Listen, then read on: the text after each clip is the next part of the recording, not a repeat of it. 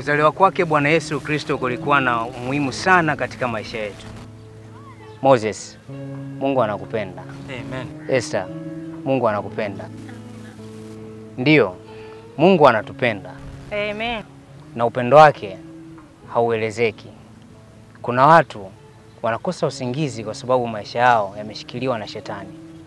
Kuna watu wamethubutu kuingia mikataba na shetani ili waweze kupata fedha, lakini Mungu atawasimamia ninyi ambao mmeamua kumtumainia. Amen. Amen. Amen. Haleluya. Barikiwe sana.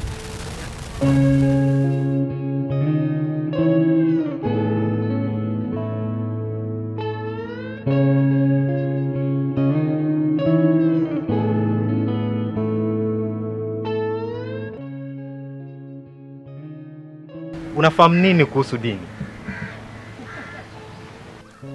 Hakuna anachofahamu. Na ni kitu gani hasa unajivunia katika ufalme wa Mungu wako? Hakuna ninachojivunia, kwa kuwa pia sijawahi kumwona, ingawaji watu wanasema kwamba yupo. Pastor John. Naam. Oh, Sharafini. Ah, nina swali. Katika Yohana tatu mstari wa kumi na sita hadi wa kumi na saba Ah, kitu gani unataka ukijua? Um, nahitaji kumjua Mungu wa kweli. Mm, Mungu wa kweli. Ndiyo. Ukisoma Kutoka ishirini mstari wa tatu Mungu anasema usiabudu miungu mingine.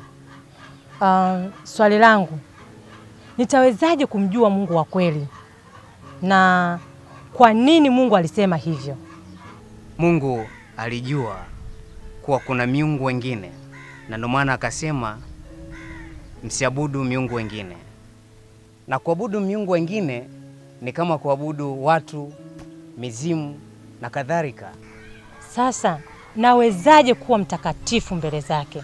Mama yako anakwenda kufa Alvin, yote kwa sababu tu umeshindwa kumpatia pesa ya matibabu. Hawezi kufa, yupo aliyemleta duniani na yeye ndo atakayemlinda. Unajidanganya Alvin. Maisha ya mwanadamu ni kama mmea, hukua lakini mwisho wa siku huvunwa. Hakuna maisha ya milele.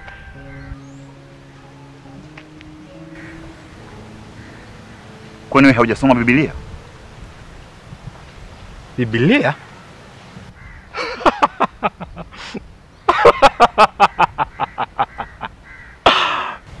Hiki kitabu cha kale. Nini maana ya Biblia? Na kwa nini unapoteza muda wako kusoma kitabu ambacho hakina faida katika maisha yako? Kwangu mimi kina faida.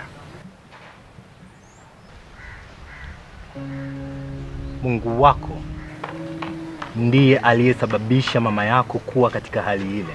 Sarafina, wewe tayari ni mtakatifu kwa sababu tayari umekwisha kumpokea Bwana.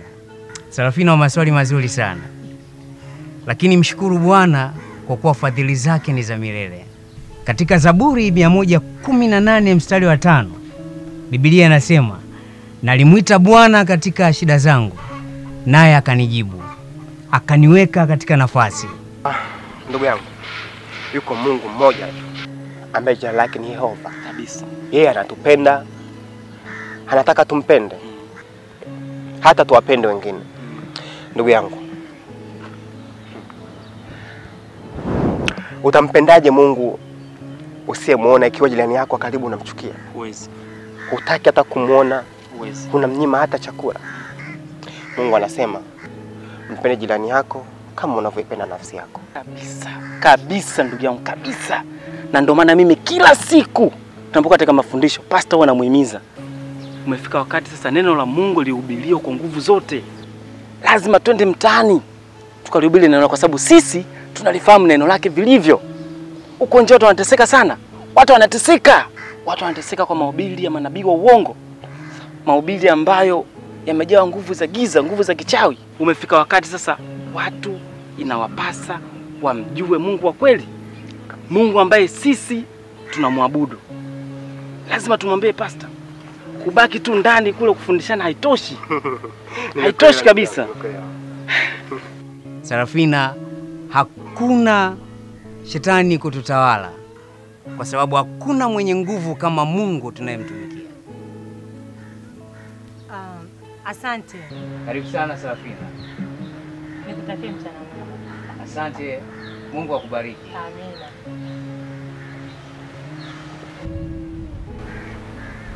Kwani unamjua mama yangu? Kwa nini nisimjue mtu ambaye ananiabudu na kunisujudia wakati wote?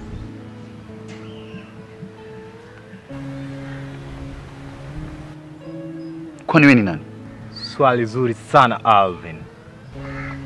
Mimi ni Mungu ninaonekana na ni rafiki mkubwa sana wa mama yako.